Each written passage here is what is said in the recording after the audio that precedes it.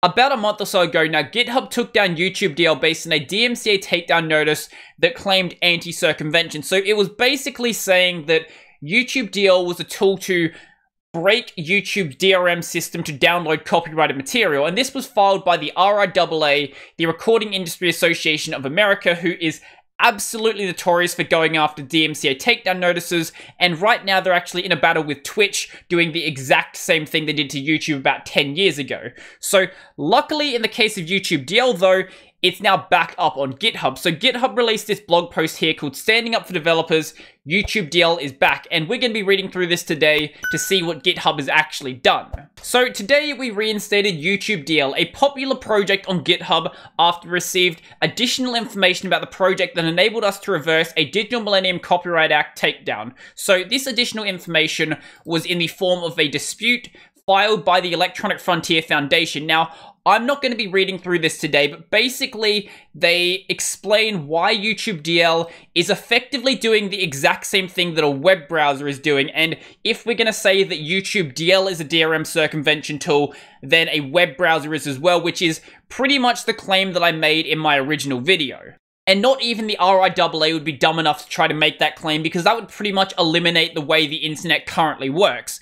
They also talk about the comments that reference commercial music inside of the unit tests, and pretty much what they say here is that just because there are comments saying it can be used in this way doesn't mean that it has to be used in this way. But let's get back to the original blog post. They say we share developers' frustrations with this takedown, especially since this project has many legitimate purposes. Now, one of those being the archival of Creative Commons media. So if you went on Twitter after YouTube DL was taken down, you'd notice there was a lot of archivists who were saying, I basically can't do my job now because this tool is absolutely fundamental to what I'm doing. So our actions were driven by processes required to comply with laws like the DMCA that put platforms like GitHub and developers in a difficult spot.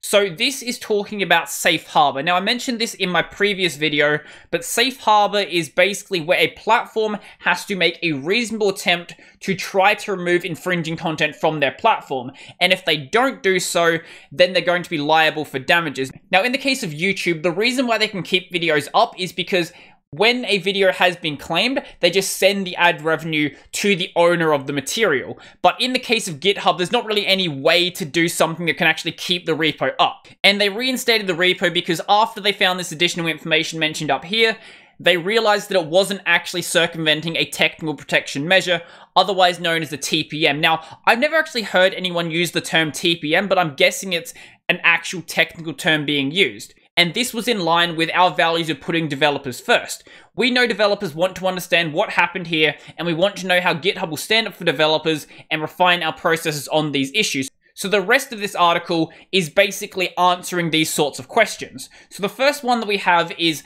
why did GitHub actually process this takedown in the first place?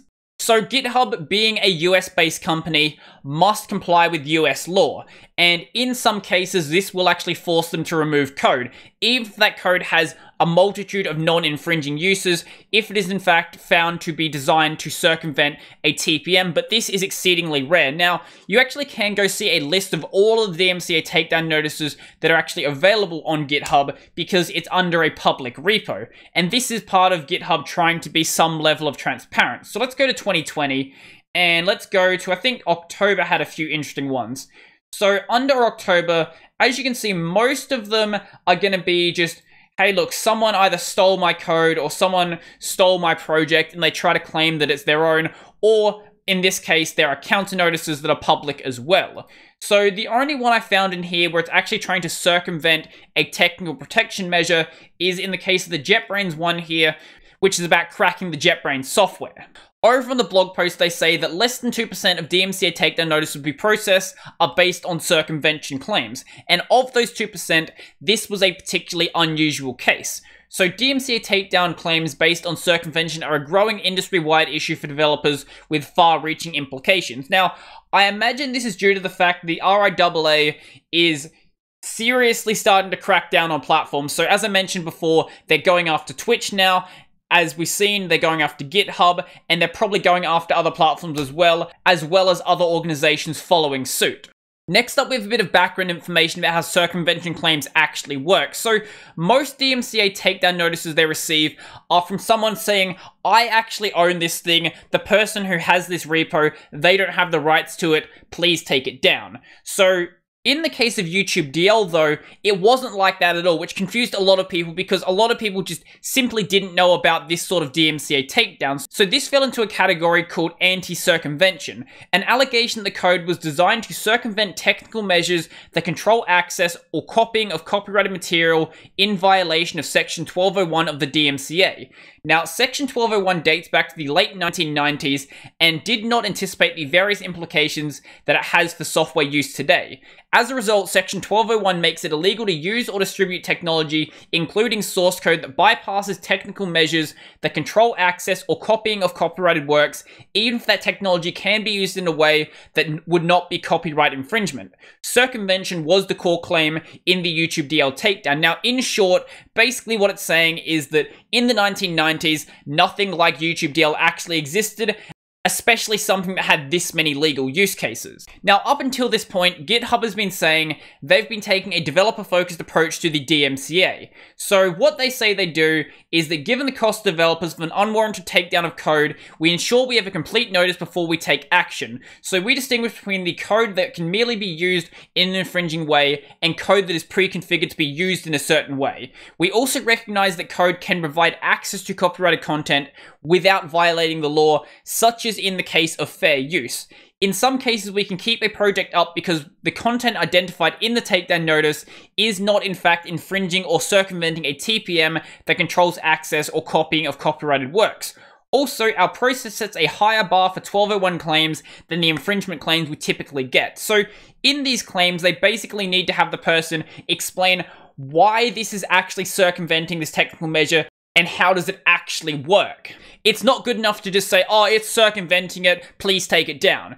They actually need to have a technical explanation of what's actually happening, and that's why in the original takedown notice, they talked about things like the rolling cipher, which was an absolute nonsense explanation. And whenever we process takedowns, we notify all the affected repository owners about the takedown and give them options to dispute it. Now, this isn't actually something they're required to do by law, but any platform that doesn't give its users the option to actually dispute a DMCA takedown is incredibly scummy. I'm looking at you, Twitch. So we allow the repository owner to make changes to address the allegations in the notice, and in many cases, we can keep projects up because they do. So in the case of YouTube DL, they actually gave them the option to remove those comments from the repo, but in the meantime, they did have to remove it because it was still infringing while those comments mentioning the commercial material actually were in the source code and we are transparent with the developer community about DMCA takedown notices, and then it links to the repo that I showed you earlier. So in the case of YouTube DL, the main claim was circumvention, and they did initially take it down, but as they say here, we also understood this project's codebase had many legitimate purposes, including changing playback speeds for accessibility, preserving evidence in the fight for human rights, aiding journalists in fact-checking, and downloading Creative Commons licensed or public domain videos in the case of doing things like archival, or you just generally want to have them. So what happened in this case is First, we were able to reinstate a fork of YouTube DL after one of the fork owners applied a patch with changes in response to the notice. So the patch was this one in particular. What they did is basically remove this section where they were doing unit tests with copyrighted material, and that pretty much removed the claim. So then after we received new information, which was from the Electronic Frontier Foundation, which I showed you earlier, that showed that YouTube DL does not in fact violate the DMCA's anti-circumvention prohibitions, we concluded the allegations did not establish a violation of the law. In addition, the maintainer submitted a patch to the project addressing the allegations of infringement based on the unit test referencing copyrighted videos. So the main fork of YouTube DL also did the same sort of patch, and that repository is now available again. So let's see what they're changing going forward. So every single credible 1201 takedown claim will be reviewed by technical experts. The fact that they weren't reviewed by technical experts before is kind of sad, and I have no idea what GitHub's actually been doing. Also, they're going to be reviewed by independent specialists when appropriate. So this is to ensure the project actually does meet those circumvention claims. Also, the claims will be scrutinized by legal experts to ensure that unwarranted claims or claims that extend beyond the boundaries of DMCA are rejected. In the case where the claim is ambiguous, we will err on the side of the developer. This is one point where I'm not really sure how well it's going to go for them, but we'll see how this goes in the future. So in the event the claim is found to be complete, legal, and technically legitimate by our experts, we will contact the repository owner and then basically give them the opportunity to dispute it or actually make changes. Only once these steps have been completed will a repository be taken down. After a repository has been taken down due to what appears to be a valid and legitimate 1201 claim, they will still reach out to the owner so that they can actually respond to it and make the changes or just let it fall apart and do whatever they want to do with it. Even after a repository has been taken down to what appears to be a valid claim, we will ensure that the repository owners can still export issues and pull requests and other repository data that does not contain the alleged circumvention code where legally possible. Now, in the case of the circumvention code, you're obviously going to still have the repo available on your computer, so you still actually have access to the code and you can put it up somewhere else, but I'm not suggesting you do anything illegal, that's entirely up to you. We will also staff our trust and safety frontline team to respond to developer tickets in such cases as a top priority. Now, this isn't all they're going to be doing. They're also going to be starting a developer defense fund. So as it says here, a lot of developers rely on non-profit organizations like the Software Freedom Law Center and the Electronic Frontier Foundation for legal advice. But the problem is that these organizations, they're great organizations. I'm not saying anything like that. It doesn't help them if they actually want to fund a legal case. So what GitHub's going to be doing is helping to fund these cases. So they're going to be starting this developer defense fund, and they're not just going to be establishing it, they're also going to be donating $1 million to get it started. And this is going to be to help protect open source developers on GitHub from unwarranted DMCA Section 1201 claims. Now, the reason why this is really important is because a lot of really small projects simply can't even afford to pay their developers, let alone funding a legal case. So most teams that receive a takedown notice like this are probably just going to have to let it fly by. So this is actually a really nice gesture from GitHub, and I hope that it actually does continue to get funded and does help a lot of developers in the future. And they end off the article by talking about how they want to help improve the law.